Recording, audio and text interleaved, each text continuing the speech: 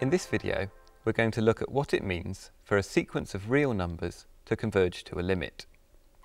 Maybe we already have some intuitive idea about what this means.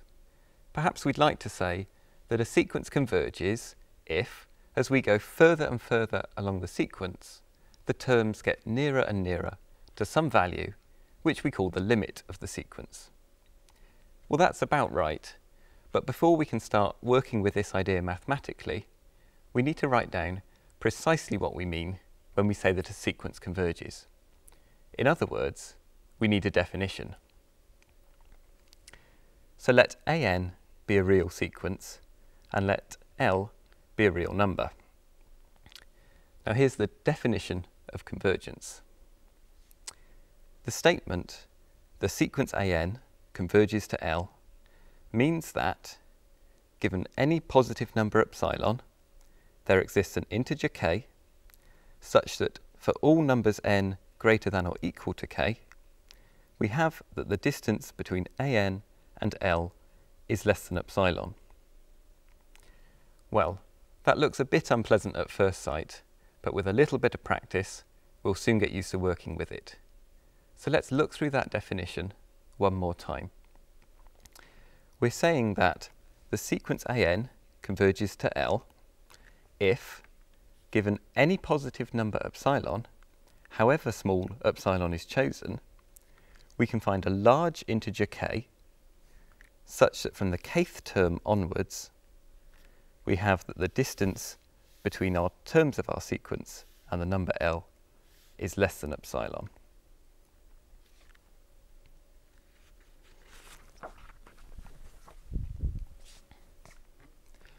One thing to note is that this integer k is allowed to depend on epsilon. And to emphasize this, we might write k as a function of epsilon. We call the number L to which the sequence converges the limit of the sequence. Now we're going to look at a graphical illustration of what it means for a sequence to converge to a limit. Here is a plot or a graph of some particular sequence an. So this first cross, the height of this cross, represents a1, the first term in my sequence. This cross represents a2, this one a3, and so on. In reality, there should be infinitely many terms in my sequence, so this graph should extend infinitely far to the right.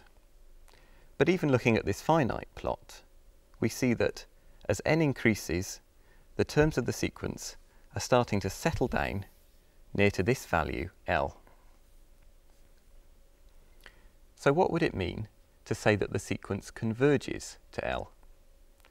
Well, we need to look back at our definition. This tells us that for all positive epsilon, there should be an integer k such that from the kth term onwards, the distance between the terms of the sequence and L is less than epsilon. So let's look at the interval of real values that lie within a distance epsilon of the number L.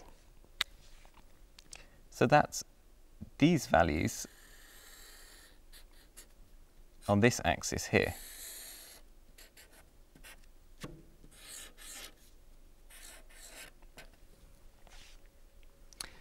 Then we extend this out to give a strip of width 2 epsilon centered around this number L. We see that some of the terms of the sequence lie outside the strip. For example, this term and this term, while other terms of the sequence lie inside the strip. For example, this one. For the sequence to converge, there needs to be an integer k such that from the kth term onwards, all the terms of the sequence lie within this strip. In this example, we can take k of epsilon to be equal to 8. Because from the eighth term onwards, the terms of the sequence all lie within a distance epsilon of the number L.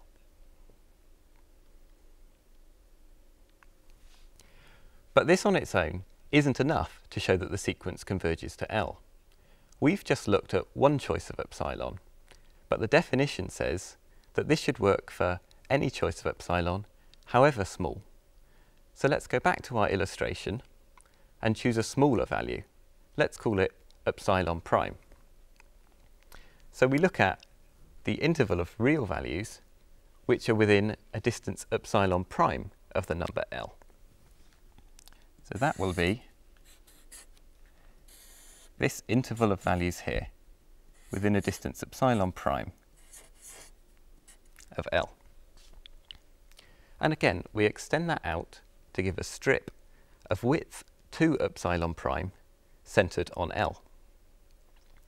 Now this strip is narrower than the strip we had a moment ago, and we see that some of the terms which lay inside the wider strip are now outside the narrow strip. For example, this term A12. But we can still find an integer k, and in this case we can take k of epsilon prime to be 13, such that from this term onwards, the terms of the sequence lie within this new narrower strip.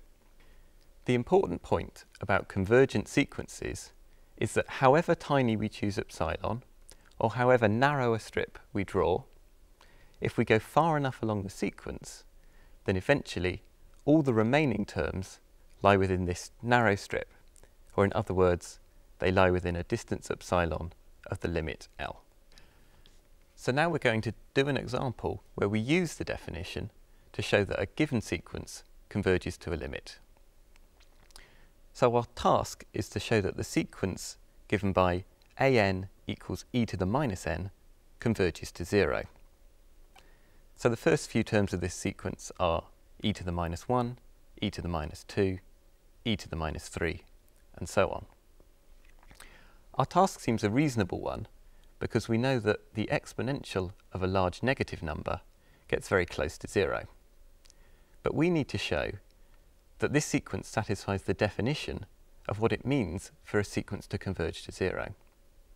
So we need to show that, given any positive epsilon, we can find an integer k such that for all numbers n at least as big as k, the distance between an and 0 is less than epsilon. Since we have to show that something holds for all positive epsilon, the first line of our answer will be let epsilon greater than 0 be given.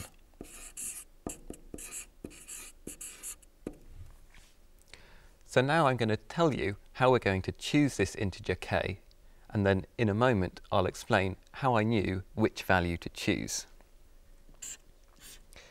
So we will take k,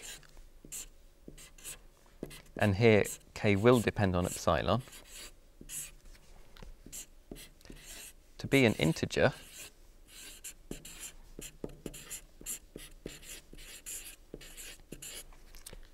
that's greater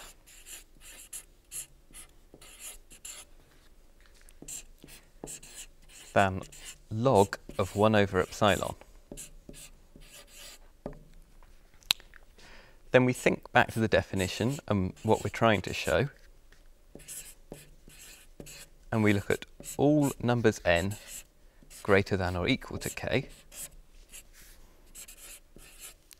And we look at the distance between an and 0. Well here an is equal to e to the minus n, which is positive. So this is just equal to e to the minus n. But n is greater than or equal to k. So this will be less than or equal to e to the minus k. Now the reason I chose k in the way that I did is precisely to make this last expression less than epsilon. So by choosing k greater than log of 1 over epsilon, e to the minus k will be less than e to the minus log of 1 over epsilon. And this last term is just precisely equal to epsilon. So I've shown that by choosing n large enough, the distance between an and 0 is less than epsilon. and this works for any positive epsilon. So we've shown that the sequence satisfies the definition of what it means for a sequence to converge to zero. And so now we can say that the sequence AN does indeed converge to zero.